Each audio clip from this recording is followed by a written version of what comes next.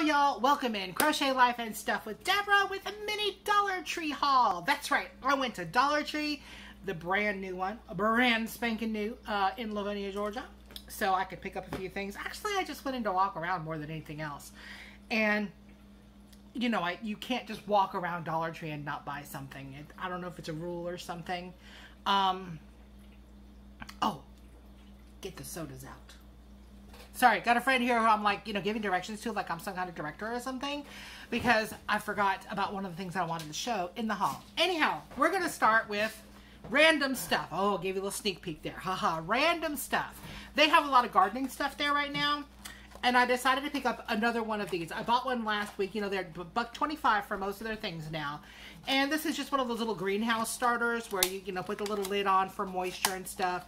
Starting some seeds. It's, it'll do, right? Buck 25. Thank you. I will go ahead and show these so they can go back in the fridge. They have got Jones, a few flavors of Jones sodas. Yes, a buck 25 for a soda may be a bit much, but you don't get these often, or I don't get them often.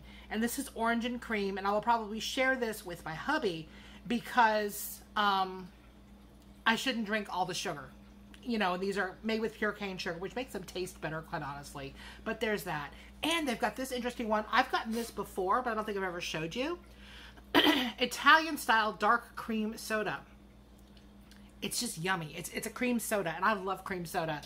And again, I will share this because real soda with, I don't know if this has real sugar or if this has, oh, it just says sugar. Filtered carbonated water, sugar, and, and the other things that are usually in sodas. But it's an interesting flavor. It's not your typical Coke or Pepsi. Thank you. They can go back in the fridge.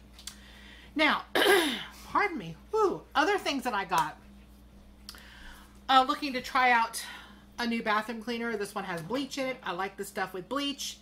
And I have tiles, so that, you know, buck 25, yeah, I'll give it a shot. This is something I've bought before and that I will probably keep buying.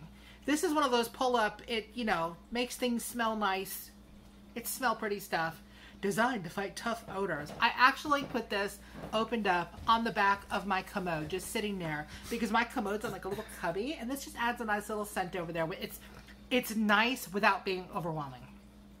It's a solid, it's not a spray. And this one is Hawaiian Breeze. Yeah, it smells vaguely tropical. It's all good. And I forgot this.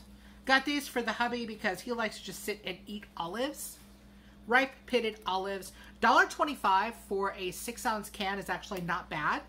Um, I think Walmart's are more expensive. So we'll see if he likes whatever this variety is. He can give him a shot. If he doesn't, we don't buy him again. It's all good. Now, in the thumbnail, you saw this, the little greenhouse doohickey, and you saw something colorful. Woohoo! Let me give it a little wave here. Whoa! Yep, just a tease. There will be more showing of this here. I found something that I thought might be fun and interesting. It's called, it's for ages six plus. I'm over six now, so you know that'll work.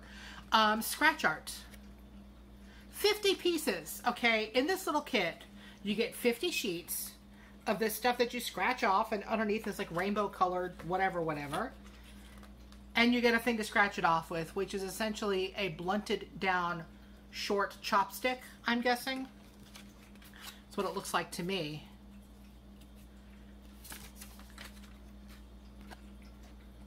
It's just black stuff.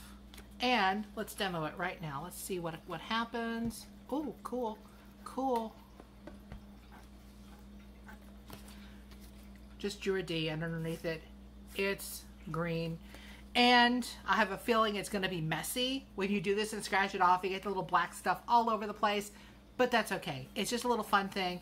And at a buck 25 for 50 of these little things, that's really not bad. I think that's a fun little product. Um, I love scratch art stuff. And yeah, it looks all rainbowy and stuff underneath. So, cool. Oh, another random thing. Binder clips. I use these for papers. I use them for chip bags sometimes. Um, and I have seen somebody, um, that's right, Ashley from Stitchin' Ain't Easy.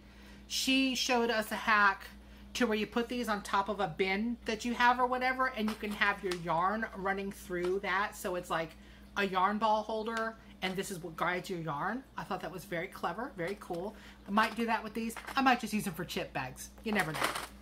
What else do I have in here? Okay, everything else in here is similar. Oh, and this is one of those uh, book holders. There, it's in the school supply section. Buck 25 book bin. And I bought it specifically to hold stickers because apparently I have a sticker problem. If you've ever gotten a card from me, you know this because there's lots of stickers. Oh, but there's some pretty stickers in Dollar Tree. Look at this.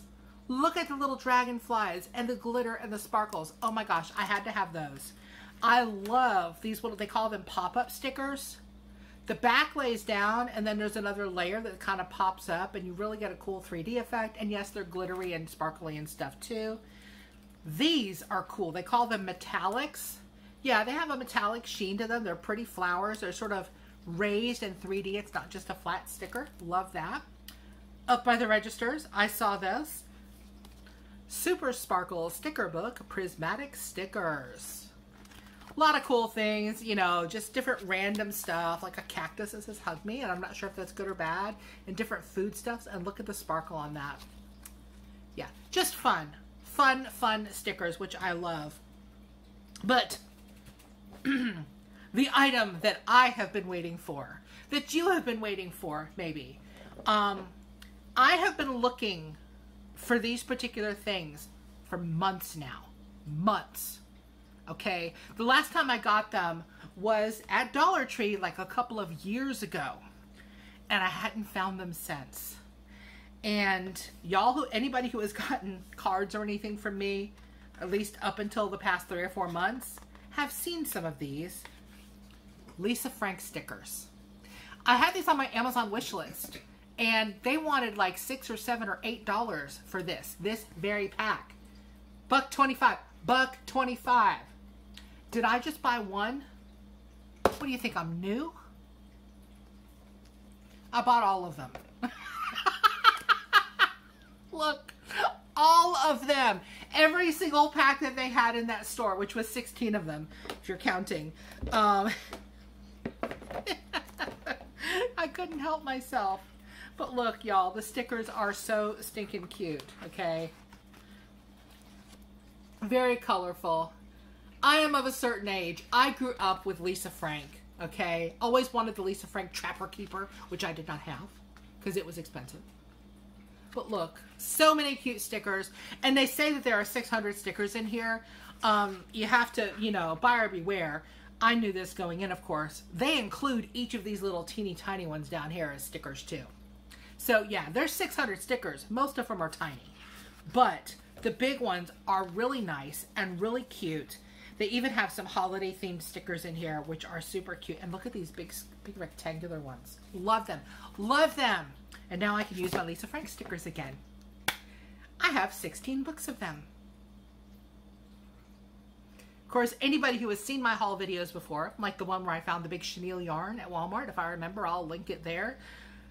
When I went in and bought all of it, all of it, yeah, I'm that girl. I'm sorry, not sorry.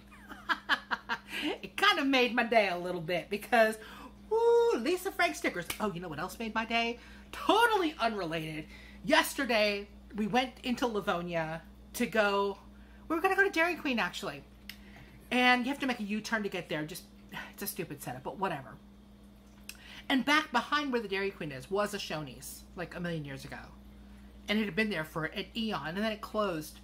It was it was suffering pre-pandemic, and then the pandemic hit, and I think they just gave it up. So whatever, okay? That's fine. It was gross. But, but, there was a brand new sign hanging on their big sign out by the road. A coming soon sign. I couldn't tell what was coming soon because the angle that we were at, I just couldn't see it until we turned around. And we turned around and I read it and I started hollering in the car.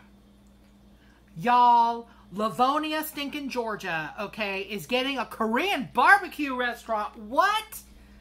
What? I was hollering.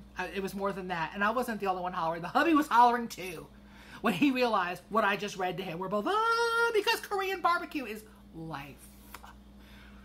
Okay, so sorry, little excite, little excitement in Lavonia this weekend.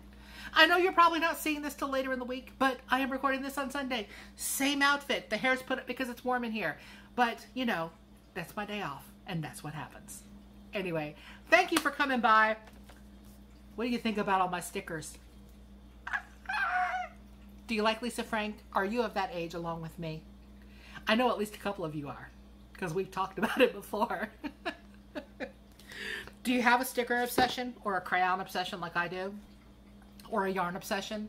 I know most of you have a yarn obsession. Let's be real. You're here. Thank you for coming by. I appreciate you. Please leave a comment, hit the like button, subscribe if you haven't already. I would love it if you did that. And um, I'll see you very, very soon. Bye, y'all.